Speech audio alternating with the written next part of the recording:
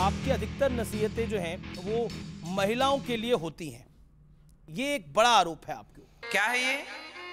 Pen कलम। अब बताओ इसमें अब हमने इसको खोल दिया। अब क्या दिख रहा है?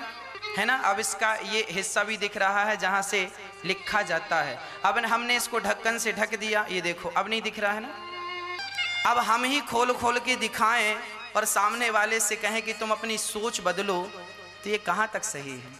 देखो जो हीरा होता है ना, हीरे की दुकान में हीरा अंदर होता है और जो सरिया होता है, वो दुकान में बाहर पड़ा रहता है। लड़के तो सरिया की तरह हैं, जबकि बेटियाँ हीरे की तरह हैं। हीरे की कीमत ज़्यादा होती है, इसलिए हीरे को संभाल कर रखा जाता है, संजो के रखा जाता है। हमने तो बाप दादों से यही सुना है कि बेटियाँ दोनों कुलों का कल्याण करती हैं, माता के कुल का और पिता के कुल का, और वहाँ ससुर और सास और पति के कुल का। तो दोनों कुलों की ज़िम्मेदारी बेटी के ऊपर है। तो बेटे से ज़्यादा जिम्मेदार कौन हुई?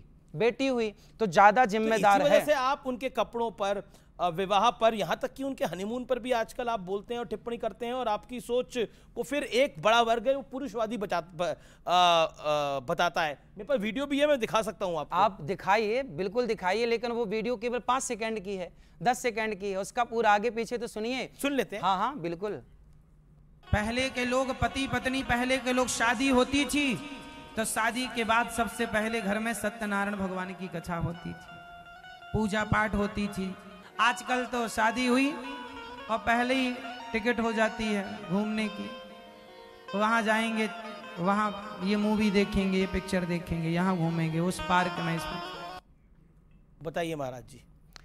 शादी करना बहुत आवश्यक है और शादी के बाद आपकी जो रीति रिवाज हैं हमने पुरानी रीतियाँ देखी कि शादी के बाद पहले बहू आती है तो वहाँ पर कुल देवताओं की पूजा होती है अपने देवी देवताओं की उपासना होती है बड़े बुज़ुर्गों को प्रणाम होता है गाँव में कुल देवता स्थान देवता ग्राम देवता को प्रणाम होता है फिर आप जाइए एंजॉय करिए कोई रोक थोड़ी रहा है पर एक मर्यादा है सोचिए। करना चाहते नहीं भैया आपकी बात ठीक है आपकी बात बिल्कुल ठीक है। मैं मैं क्यों पाबंदी लगाऊँगा? मैं कौन होता हूँ? लेकिन एक नसीहत, एक आपका भाई, आपका बेटा, आपका अपना होने के नाते, आपने मुझे यहाँ बिठाया है ना?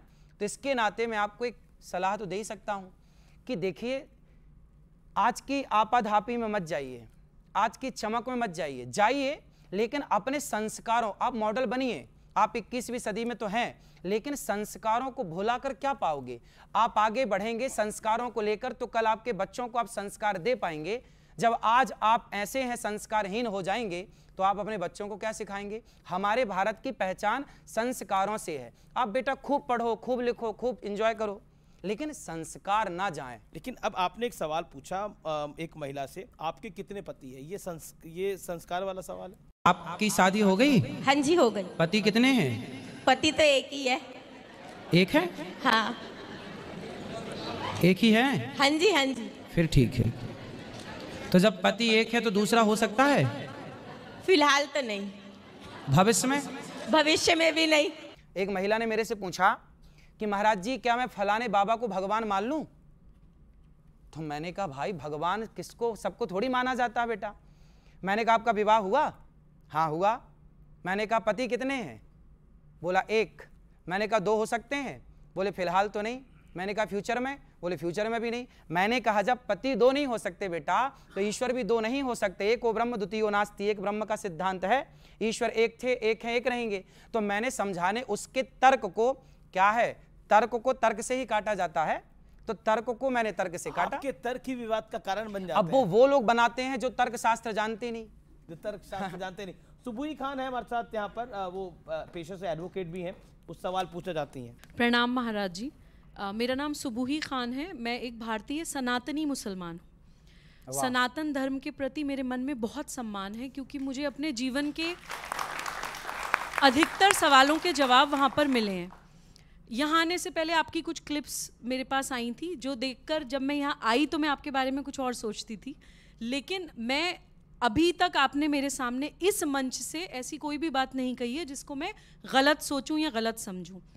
जिन चीज़ों को मुझे गलत लगा और मैं आपसे सवाल पूछना चाहती थी, वो नारी से रिलेटेड ही सारे सवाल थे। ये मुझे अच्छा लगा कि आपने अपनी गलती मानी कि हाँ मेरे मुँह से वो गलत निकल गया। लेकिन एक मन में एक छोटी सी कसक ये है कि आपके ऊपर जितने भी आरोप लग रहे हैं, वो नारी से संबंधित ही विषयों पर आपकी ज़बान फिसली है। चाहे वो आपके कितने पति हो, कहना हो या फिर आपने किसका दूध पिया है, किसी व्यक्ति को कहना हो, या किसी महिला से ये पूछना हो कि तुम्हारे कितने पति हैं? तो मुझे लगता है कि मैं चाहती हूँ कि आप इस मन से ये क्लियर करिए कि सनातन धर्म में या आपकी दृष्टि में नारी की क्या जगह है। मैं नारियों का कितना सम्मान करता हूँ, इसके लिए आप कभी वृंदावन आइए, जो बेटे अपनी माँ को घर से निकाल देते हैं। ऐसी 280 वृद्ध माएँ वहाँ रहती हैं और सभी माओ के मैं खुद अपने हाथ से पाँव दबाता हूँ, चरण दबाता हूँ।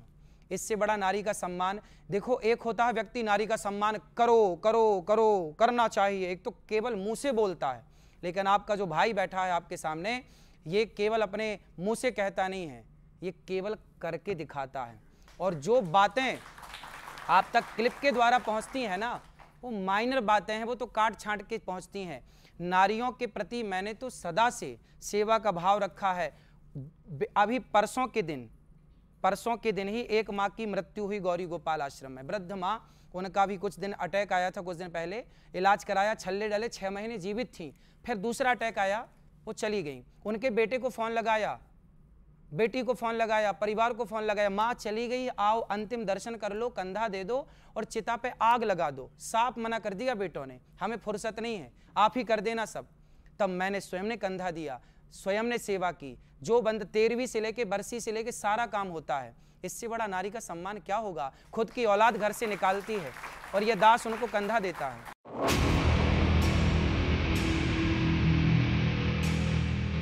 लेकिन आपने द्रौपदी और अ, अ, सीता माता का जो के साथ जो इंसिडेंट्स हुए उनकी जो परेशानियाँ हुई उनकी वजह आपने उनकी सुंदरता को बताया? माता सीता का हरण क्यों हुआ? क्योंकि वह ज़रूरत से ज़्यादा सुंदर थी। द्रौपदी की भरी सभा में साड़ी क्यों खींची गई? क्योंकि द्रौपदी भी ज़रूरत से ज़्यादा सुंदर थी। ना ना वो बात मेरी नहीं थी। वो बात चाणक्य की है। चाणक्य जी कहते हैं कि अति रूपेण वही सीता अति गर्वेण रावण।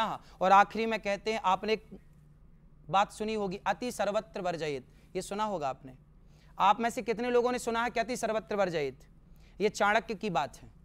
चाणक्य का वचन है अति सर्वत्र वर्जयित। अति चाणक्य की हर बात तो मानने वाली नहीं है। ना चाणक्य महापुरुष है। नहीं महापुरुष है पर हर बात तो मानने वाली नहीं नहीं तो बात चाणक्य नीति में जो लिखी है वो सिद्धांत संविधान में जो लिखा होगा वो तो बताया जाएगा। भाई देखो ये संविधान में ये लिखा है। चाणक्य की नीति में ये लिखा है ये तो बताया जाएगा। देखो ये चाणक्य कह रहे हैं ये चाणक्य के विचार कोई कैसा दिखता है? वो मेरा विचार आप बोल रहे हैं आप आप आपके मुख से ये बात आ रही है। कोई कैसा दिखता है? मैं कैसा दिखता हूँ? आप कैसे दिखते हैं? ये सामने जो लोग हैं ये कैसे दिखते हैं? ये तो ईश्वर के हाथ में है। भाई बात हमारे हाथ में है। ही नहीं। भैया काला हूँ गोरा हूँ मैं सावला हूँ ये मेरे हाथ में का नहीं बात अति की है। अति का बोलना भला नहीं। आपने सुना होगा ये कहावत तो सुनी होगी ना भाई अति मत करो अंत हो जाएगा। ये चाणक्य के वचन है। आप चाणक्य की एक बात मान लें और दूसरी बात ना माने ये कैसा न्याय है? अच्छा क्या तो आप चाणक्य को आपने कह दिया भगवान हो गए। भगवान नहीं कहा। तो फिर चाणक्य क्या है फिर? भाई- आप आप चाणक्य को किस उससे कोट कर रहे हैं। आप किस कैपेसिटी से चाणक्य को कोट कर रहे हैं? आप महाभारत को कोट करिए रामायण को कोट करिए भगवत क्या गीता को इतिहास हमें बोलने का अधिकार नहीं? क्या इतिहास की बातें हम नहीं समाज को बता सकते? आप आप लोगों पे अपना ओपिनियन थोपने की कोशिश कर रहे ये हैं। मेरा नहीं है, ये चाणक्य के वचन है। है। हाँ तो चाणक्य जैसे उन्होंने ठीक कहा कि भाई चाणक्य कौन है? भाई चाणक्य का अपना ओपिनियन है चाणक्य नीति आज राजनीति में पढ़ाई जा रही है। चाणक्य के शास्त्र पढ़ाए और आप चाणक्य को मानने से इनकार कर रहे हैं बताइए मैं कह रहा हूँ चाणक्य भगवान नहीं है भगवान मैंने कब बोला? आप, आप कथावाचक मैंने कब बोला? आप मुझे बताइए आप साइकोलॉजिस्ट भी बन जाते हैं अच्छा, ये बताइए। भी बन जाते हैं आप अच्छा। डॉक्टर भी ठीक है, आप हर एक चीज़ बन रहे। हैं तो वो वाली चीज़ को सब क्या कुछ हमारे वेद पुराणों में है सुनिए ऐसा है